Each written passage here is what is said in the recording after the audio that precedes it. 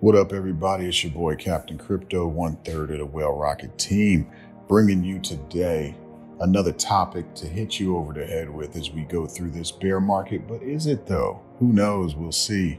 Only time will tell. But today I bring you a topic about trading psychology. All right. And I want to start with this chart below.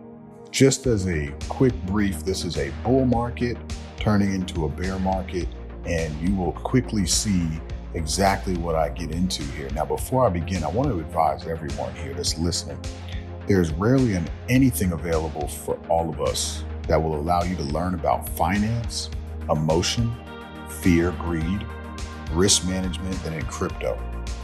This topic we'll speak on today will explain how all of these are qualities within crypto and entering this space. This doesn't include the further knowledge obtained from the technology that crypto is itself. So, from decentralized finance to entertainment and NFTs, we've only just covered the surface thus far. All right. Trading psychology is the emotional component of an investor's decision making process, which may help explain why some decisions appear more rational than others. Trading psychology is characterized primarily as the influence of both feed and greed in a nutshell. Greed, greed drives decisions that appear to be too risky whereas fear prevents you from making any moves to acquire any assets at all. This chart goes into detail of roughly 12 emotions that you will experience throughout the bear and bull market. And yes, just about all of them. I personally felt them after being in crypto from the beginning of 2021 and the roller coaster that it's been since. Okay, so you look at this chart and you'll see these these 12 emotions. When the market is down, there's disbelief that it's ever going to come back. Then, once a recovery happens, there's hope. And as you scroll through this chart, it goes from hope to optimism to strong conviction and belief to, oh my God, thrill and euphoria. I can't believe this. When we start retracing back down, you get this feeling of complacency and then followed by anxiety, you know, then then denial, like, no, this can't be it. It's not over yet. Then then panic sets in. Then, of course, the capitulation drags us down even further, followed by anger, depression, disbelief. You can rename these adjectives all you want, but the reality of it is, these are all real that take place when you are allowing emotions to drive those decisions. You know, crypto is extremely volatile, okay? In a perfect world, we make perfect choices, but in a real world, we make real choices. And I'm here to tell you the timing of your decisions can make or break your success in this space, both buying and selling. Uh, this is not the time where you should be buying the memes or shield projects from TikTok. Okay.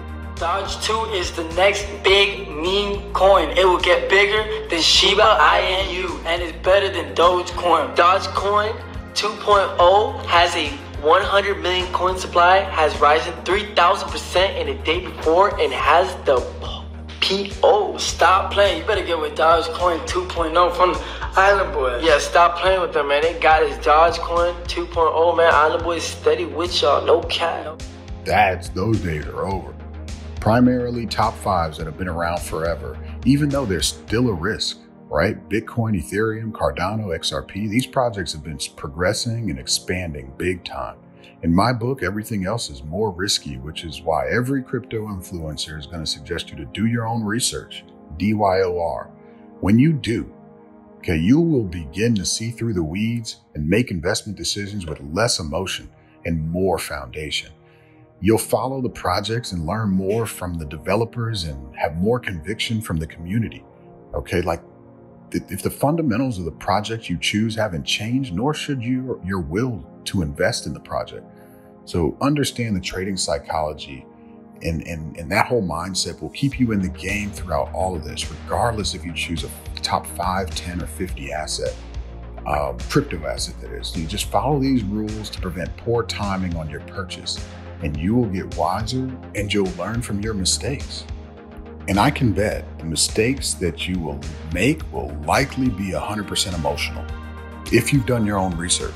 So, I'm going to quickly give you five ways to really get yourself ready and prepared mentally for this journey that you're taking. Get yourself in the right mindset. Understand what you're buying and be aware on when you buy in relation to the Bitcoin cycle.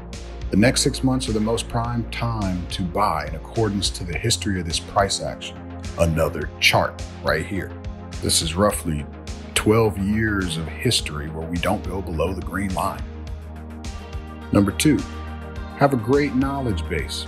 Do your research. Follow on Twitter, Instagram, join their Discord. A lot of crypto assets are all community driven, like ApeCoin, right? Mostly all the projects that take off have relatively large active community.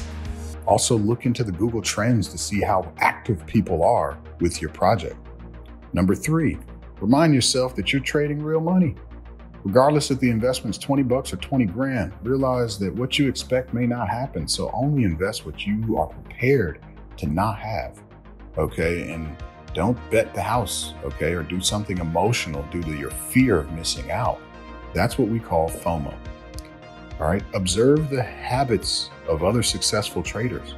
Like I've followed YouTubers religiously for the past year and a half. And I would suggest you follow at least three crypto YouTubers, just as my three crypto YouTubers suggest that you follow three crypto YouTubers and practice at finally practice, practice, practice. Okay. You'll need to train your emotions from taking over. This is going counterclockwise to the natural emotions you'll experience through this process. I mean, people should be screaming that crypto is dead when you buy, or the price shouldn't have recently pumped. And I guarantee you, there will be another opportunity to get in. So, to recap, my insight to everyone listening in, watching, or reading is that most good decisions are made when you're doing the opposite of what you're feeling, particularly when these motions in this first chart arise. Warren Buffett famously quoted, Be fearful when others are greedy and greedy when others are fearful. End quote. These are the moments of opportunity here. And since we don't have a crystal ball on the immediate action, it's uh, the immediate future, it's always best to buy the dip when we experience one. I personally choose to buy the DCA buy, okay, dollar cost average, and just buy a little bit at a time in the bear market when the price goes down. The point is, your stomach should turn when you're buying that dip due to the discomfort you have to buy when others are scared. Just buy quality projects and do your own research. All that being said, click the like, click the subscribe, get on our Discord. We're giving you all this free information. Just understand what you do with it will make or break your success. Enjoy, you guys. Take care. Out.